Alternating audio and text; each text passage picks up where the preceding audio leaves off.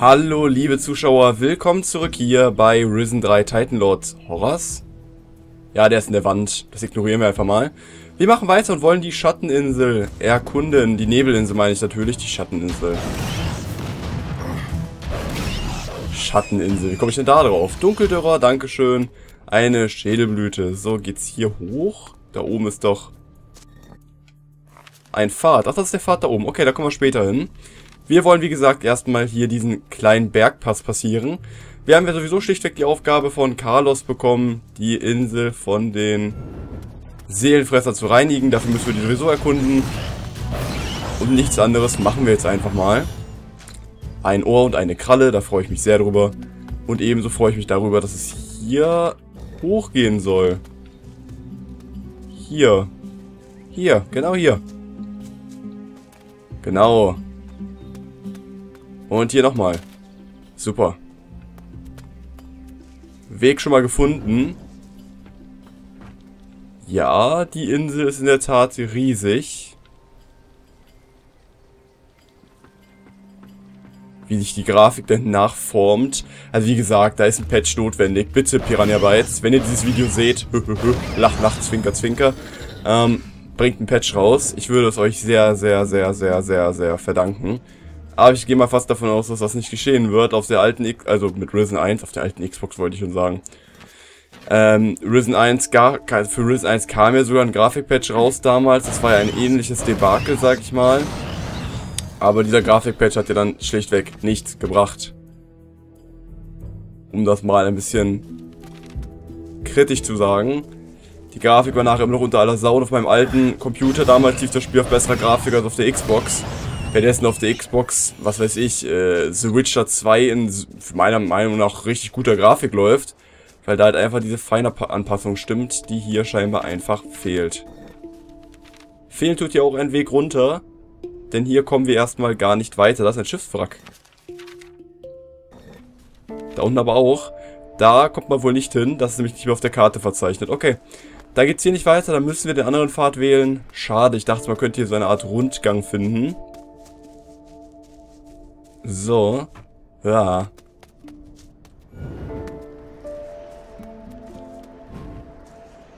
Schädelblüte. Hier geht's jetzt nochmal nach oben. Ich bin gespannt, was wir hier oben finden werden.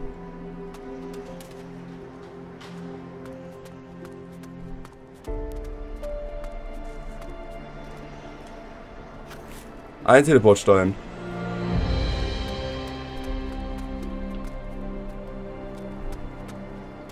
Und natürlich eine wunderschöne Aussicht. Also der Grafikstil erinnert mich so wahnsinnig stark an Arcania Gothic 4. Ich weiß auch nicht warum. Da war die Grafik ja auch nicht so gut angepasst. Meiner Meinung nach aber sogar ein bisschen besser als hier. Also ich fand... Entschuldigung, wenn ich jetzt, wenn ich jetzt gegen einige Leute spreche. Ich fand Graf, äh, Arcania das ist ja unfair. Das war auch richtig unfair, die hatten ja gar keine Chance. Äh, ich fand Arcania Gothic 4 war an die Konsole besser angepasst als äh, Risen 3 hier in diesem Falle. Hört sich jetzt so arg böse an, aber ja, ich denke schon, dass man das so sagen kann. Äh, wir müssen jetzt hier runter darum oder darum, darum darunter. Würde ich lieber erstmal hier runter gehen und dann rumlaufen. So. Ja, wir werden Stück für Stück die ganze Insel erkunden. Hier haben wir Jadebrocken. Sehr schön. Ja, wie gesagt, ähm, Grafisch bin ich enttäuscht, kann man ja schon so sagen. Ich bin jetzt kein Grafiknah, wie gesagt, sonst würde ich das Spiel schlichtweg nicht aufnehmen. Mir tut es ein bisschen leid, dass ich euch das jetzt antun muss, in Anführungszeichen. Weil man sieht das natürlich bei anderen Let's Playen auf dem PC. Auf dem PC sieht es natürlich drei Milliarden mal besser aus, muss man ein bisschen übertrieben zu sagen. Aber was soll ich machen? Ich sehe jetzt auch nicht ein, jetzt direkt nochmal 40 Euro, 30 Euro in das Spiel zu investieren, nachdem ich das für 50 Euro gekauft habe. Es tut mir ein bisschen weh, weil ich mir, wie gesagt, mehr erhofft hatte. Ich habe eigentlich gedacht, sie hätten aus ihren Fehlern gelernt. Ich habe auch schon oft gegoogelt, um ehrlich zu sein. Ich habe oft nachgeschaut, ob man irgendwo etwas über die Grafikeinstellungen findet, die die Xbox bietet, aber sie haben schlichtweg nichts rausgegeben. Daher kannte man auch nicht die wirkliche Grafikleistung auf der Konsole. Und ich habe einfach mal gedacht, dass sie diese wohl im Vergleich zu Risen 2 oder eher gesagt Risen 1, was ja ganz schlimm war, ein wenig angepasst haben, aber das hier ist ja... Ja, beinahe eine Beleidigung für die Konsolen. Ich meine, auf der Playstation 3 sieht es auch nicht besser aus. Und es gibt immer Beweise, dass die Konsolen einfach zu mehr imstande sind. Daher...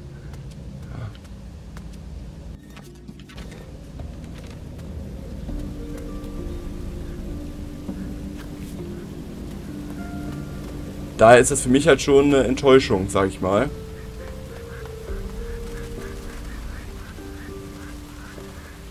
Enten überall. Das ist sehr gruselig. Friedliche Ente. Gibt es auch böse Enten, oder was? Friedliche Ente. Ich könnte dir jetzt einen Vortrag darüber halten, wie vielen Gefahren wir uns auf einer unbekannten Insel aussetzen. Aber da du mir die Stimmung nicht vermiesen willst, lässt du es sicher. Du hast es erfasst. Dankeschön, Horace. Sehr beruhigend. Okay, wir haben, glaube ich, einen der Inquisition gefunden.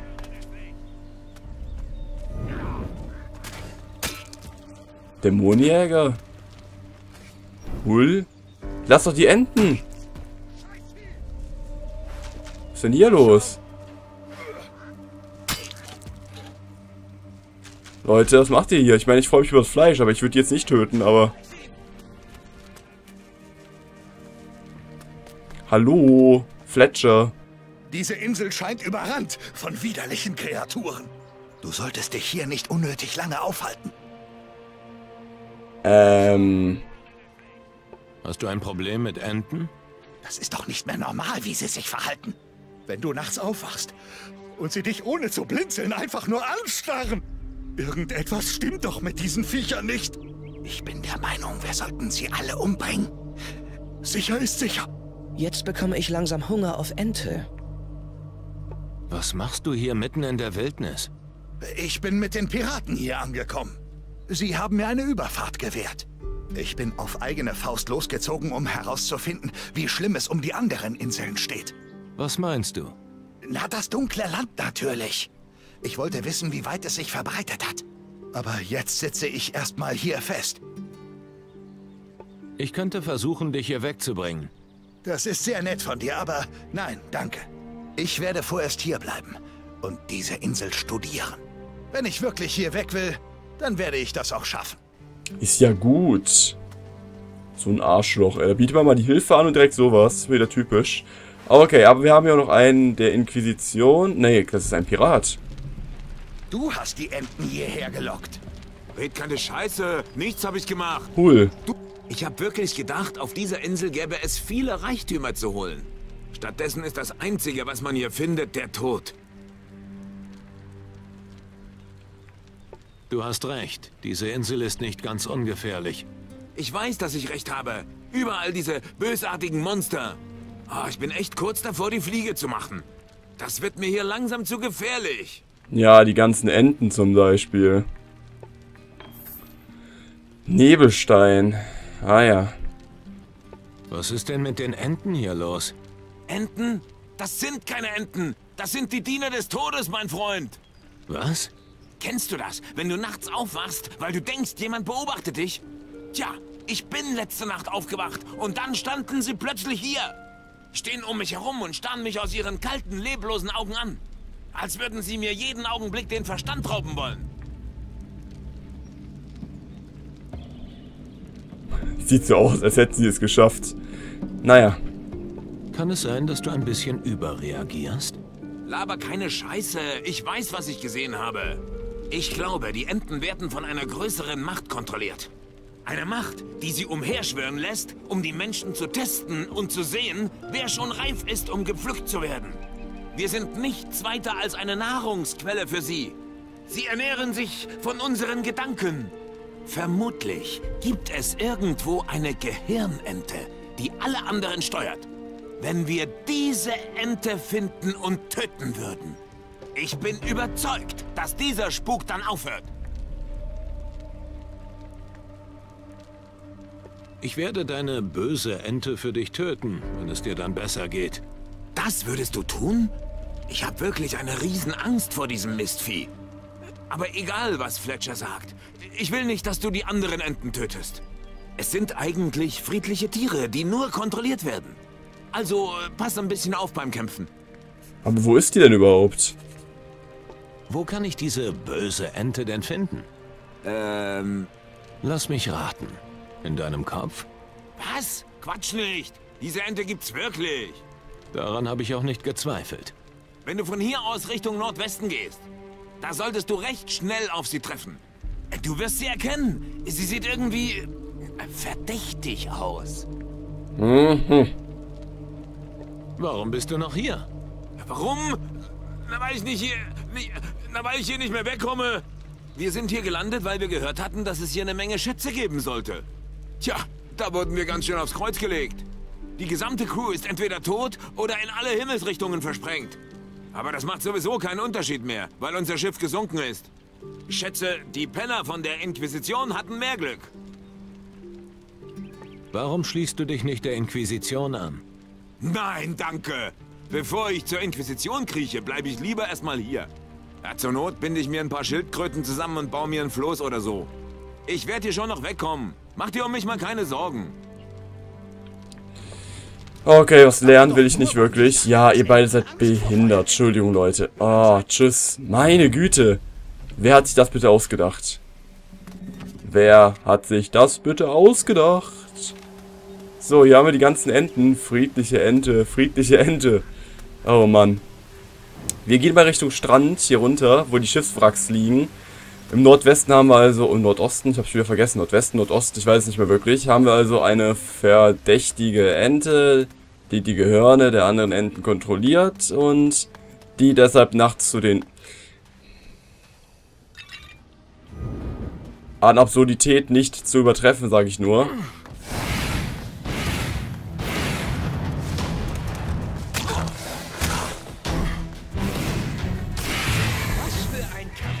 Ich bekomme die Erfahrung. Ah doch, ich bekomme die Erfahrung. Ich wollte gerade schon meckern, dass ich die Erfahrung nicht bekomme. Oder den Ruhm.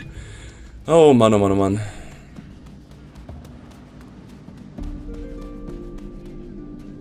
Da hinten baut sich langsam das Wrack zusammen.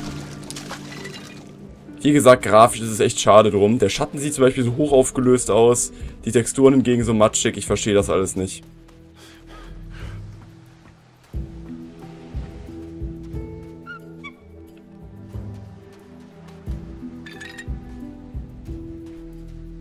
Zusammen schaffen wir das.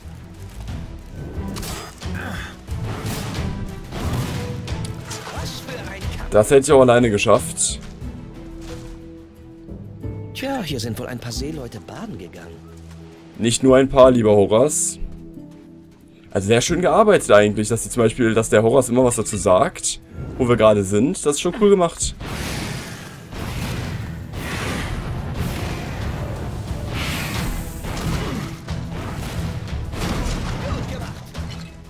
Ja, man will sich ja nicht selbst loben, aber das hat schon ziemlich gut funktioniert.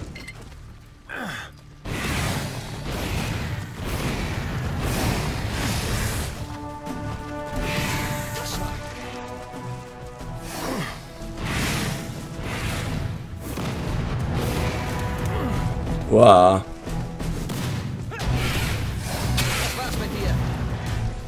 Ich wollte gerade schon sagen, warum sollte Horace auch helfen? Ist ja nur unser Begleiter. Oh Mann. So.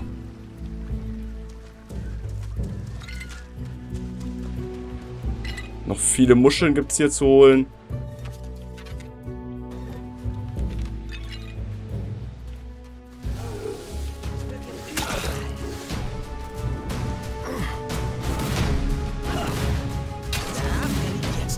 Die sind auch schon viele Schiffe gesunken, wenn man sich das so anschaut. Okay.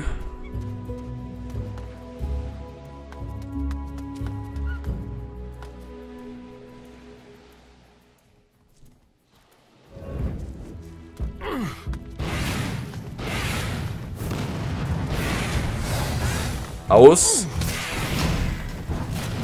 Nein. Dankeschön. Hui, da hat Horace uns etwas Gutes getan. Was haben wir hier? Eine kleine Höhle.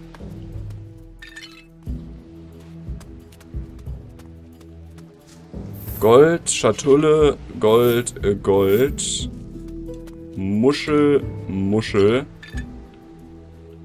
Und sonst nichts. Ja, war jetzt nicht so die große Ausbeute. Hier sieht es auch wieder schön aus mit den Lichteffekten, die Texturen. Dagegen, wie gesagt, sehr schwach, wenn man sich das mal anguckt. Der Fels da zum Beispiel. Es ist... Ich kann es nicht beschreiben. Das Spiel löst in mir so eine leichte Empörung aus. Ich, bin, oh Mann, ich will eigentlich so... Ich will so gerne so zufrieden sein mit dem Spiel, weil mir das so gut gefällt. Aber dann kommt halt einfach dieser atmosphärische Minuspunkt. Also dieses Video wird mich bei dem, dem ähm, Unzufrieden sein.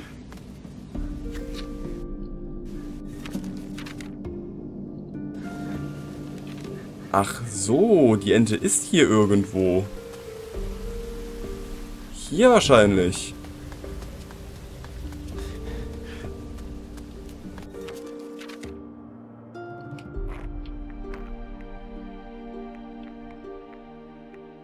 Ein Platz ist nur noch frei. Äh. Nebelinsel.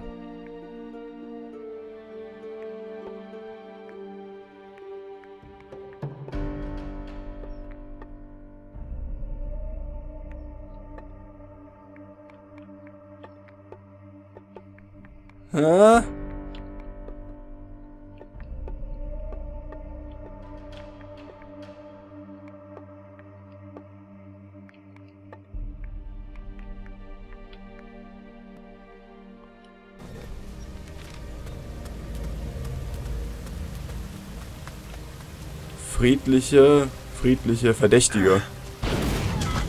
Uah!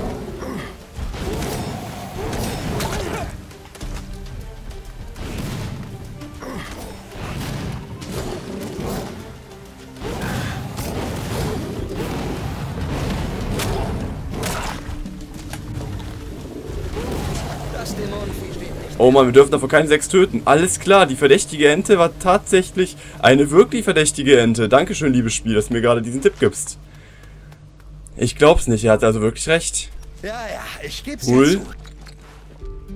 Deine Ente war ein Seelenfresser.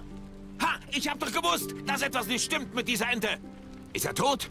Er wird dir keine Probleme mehr bereiten. Ah, das ist sehr gut. Hier hast du etwas Gold. Gold kann jeder gebrauchen. Was ist mit den friedlichen Enten? Hast du sie verschont? Ich habe sie verschont und werde sie auch am Leben lassen. Ah, das ist sehr gut. Hier, nimm das als Dank der Enten. Die kleinen Biester müssen nicht sterben. Als Dank der Enten. Deine böse Ente ist zurück. Deine böse Ente ist zurück. Was? Wie? Mann, Alter, hör auf, mich zu verscheißern. Für einen Moment dachte ich, mir gehen die Lichter aus. Hier hast ein bisschen Gold, aber dafür erschreckst du mich nie wieder. Deal? Deal. Ha, okay. Hey, Eine der Enten war ein Seelenfresser. Im Ernst? Dann hatte Hal wohl doch recht. Na, das erklärt einiges. Aber glaube nicht, dass ich jetzt unaufmerksamer werde. Ich werde wohl nie wieder einer Ente über den Weg trauen. Ja, harmlose Enten töten machen wir sowieso nicht.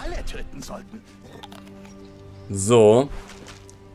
Ja, ja, die Enten. Hallo? Snapper. Normale Snapper. Hatten wir schon normale Snapper? Sie sehen sehr seltsam aus. Sie sehen nicht Gothic aus.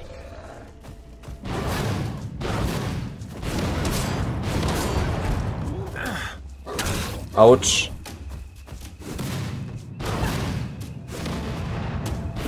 Was für ein Kampf. So, was für ein Kampf trifft's gut. Wo sind wir denn jetzt hier?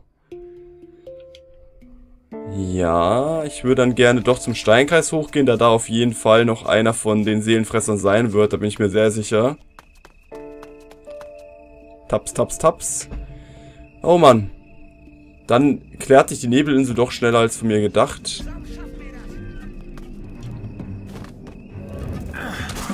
Ah, eine Waldspinne. Gut gemacht, das Biest ist tot. Das Biest ist mehr als tot. Insel hat uns vom Kurs abgebracht. Manchmal kann eine Kurskorrektur ganz nützlich sein. Und gefährlich. Ja, Hochebene machen wir auch.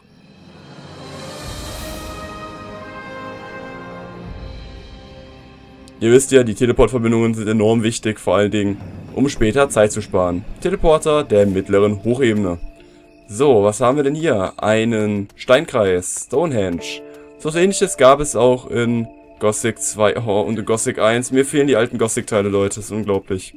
Hallo, lauf nicht weg von mir, lieber Magier. Hallo, hallo. Fleisch. Lebendiges Fleisch. Lasst euch mal genauer ansehen. Ich bin keine Kostprobe. Du hast wohl schon lange nichts mehr gegessen. Das Offensichtliche ist der Bruder der Sehenden. Ah ja. Seid ihr auf der Suche nach Antworten? Vielleicht habe ich welche für euch. Der Tod segnet einen mit Weisheit, die manch Mensch im Leben vermissen lässt. Wahr gesprochen. Balthasar, ja, er ist auf jeden Fall tot. Das sieht man an dem blauen Schimmer. Erzähl mir mehr über dich. Balthasar der Magier. So rief man mich einst. Ich bin der Herr dieser Insel. Aber mit wem habe ich es zu tun? Ich bin ein Wächter im Dienst der Magier von Taranis. Taranis? Von diesem Ort höre ich zum ersten Mal. Merkwürdig. Ihr seht aus, als wolltet ihr die Geheimnisse dieser Insel ergründen. Tut euch keinen Zwang an. Meinen Segen habt ihr. Mhm. Was werde ich hier finden? Die Narren finden den Tod. Vielleicht habt ihr mehr Glück. Doch ihr seid nicht der Erste, der hier Fuß gefasst hat. Eilt euch also, wenn ihr Schätze heben wollt. Was ist das für ein Ort? Er ist der Anfang eines neuen Zeitalters. Die Geburtsstunde des Schattens, der aus dem Nebel steigen wird. Doch noch braucht es Zeit. Diese Insel ist also besonders. Ja, hier hat ein Tod Bedeutung. Woanders verrotten die Kadaver nur vor sich hin. Okay, er hat gerade etwas gesagt von wegen Ursprung der Schatten. Das verunsichert mich gerade. Wir haben vorhin ja auch einen einzigen Schatten aus dem Boden kommen sehen. Das heißt, der Schatten scheint auch diese Insel erreicht zu haben. Wie lange bist du schon tot? Jahrhunderte habe ich kommen und gehen sehen. Die Zeit hat für mich an Bedeutung verloren. So lange schon? Auch die Ewigkeit ist nur ein Zustand unter vielen. Wenn der Schatten euch umhüllt, seht ihr die Dinge mit anderen Augen. Mhm. Warum habe ich das Gefühl, dass du mir etwas verheimlichst? Ich diene als Wegweiser für die Suchenden. Und ihr seid auf der Suche. Mein Geheimnis jedoch wird euch verborgen bleiben. Nur wer die Spuren der Zeit gefunden hat, wird es lüften. Was meintest du mit Spuren der Zeit? Hört gut zu. In den Süden geschickt, doch in tödliche Fänge verstrickt. Mit Zeichen gefüllt, doch am östlichen Strand wieder angespült. Hoch oben im Südosten, wo die Ratten seine Knochen kosten. Und das soll mir weiterhelfen? Strengt euch an oder teilt ihr Schicksal. In die Irre geführt. Ah ja.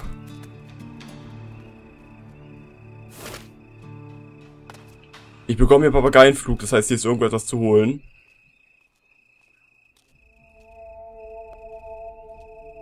Ich gucke gerade mal oben auf die Steinbalken. Sehe aber nichts. Hm, seltsam. Okay, der hat uns mehr verwirrt, als irgendetwas Aufschlussreiches von sich zu geben. Ich würde mal sagen, hier ist eigentlich eine gute Möglichkeit, nochmal ein wenig zu erkunden. In die Irre geführt, das machen wir später. Feuerblume. Ja, es ist natürlich wieder sehr dunkel. Ihr seht wieder kaum was auf YouTube, das tut mir leid, aber wir können nicht schlafen.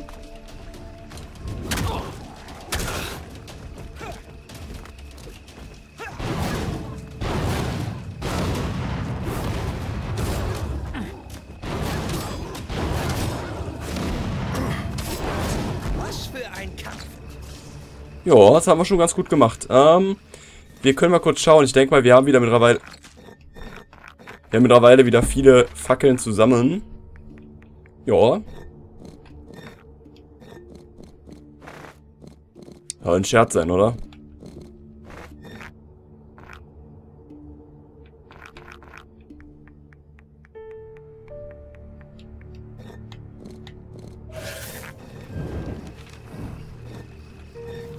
So. Das ist doch annehmbar. Hallo? Ich sehe da vorne eine Spinne rumkrabbeln.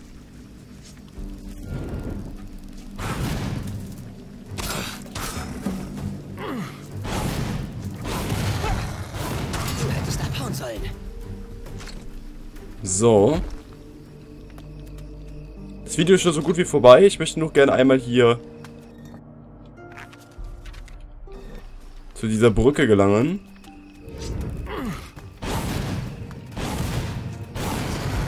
Spinnen. Ich kann mir dein Leid kaum vorstellen. Man gewöhnt sich dran, wenn es nur nicht schlimmer wird. Beachtlich, diese Stärke und Zuversicht. Wie machst du das? Ich weiß nicht, was ich sonst tun soll. Ich schätze, genau deswegen bin ich so gern in deiner Crew. Ja, in der Tat ein sehr schöner, schöner, sehr cooler Begleiter, der gute Horace. Mit dem können wir öfters an Land gehen. Trifft sich auch gut. Wir sind immerhin auch ein Wächter. Komm raus da.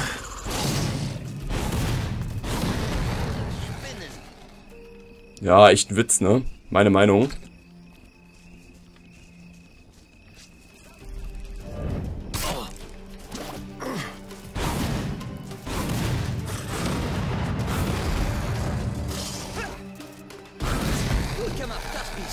Ja, das Biest ist mehr als nur tot.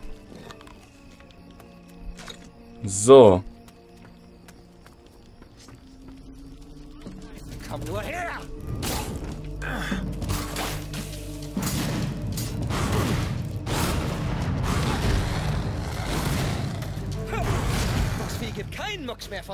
Das glaube ich auch nicht. Okay, das klappt ja super bis jetzt.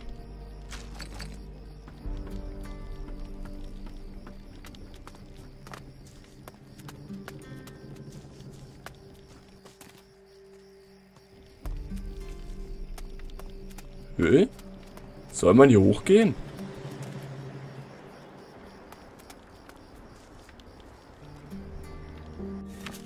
Ach so, okay, wir sind den richtigen Weg hochgegangen. Ich war gerade kurz verwirrt. Entschuldigt mir das bitte.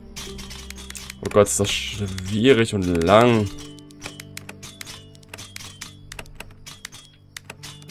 Okay, das heißt 1, 2, 1, 2, 1, 2, 1, 1, 2, 1, 2, 1, 1, 1, 2, 1, 2, 1, 2, 1, 1, 2.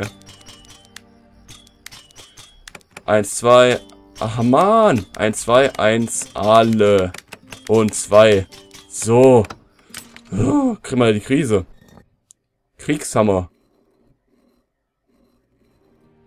Daraus wird der Geisterhammer.